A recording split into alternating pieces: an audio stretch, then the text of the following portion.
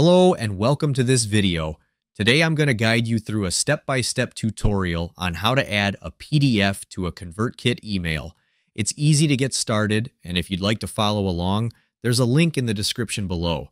You can use it to sign up for a free trial or quickly log into your account. First, click on the Send button, then select Email Template. Next, click on New Email Template and choose a template that suits your needs. You can also follow this same process with an existing email. In the email editor, type your text by adding a text block or simply clicking anywhere to enter your text. This is where you can craft your message and make it engaging for your readers. Once you finish typing your content, it's time to upload your PDF.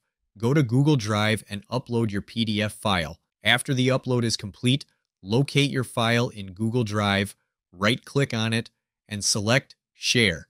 In the sharing settings, change the option from restricted to anyone with the link.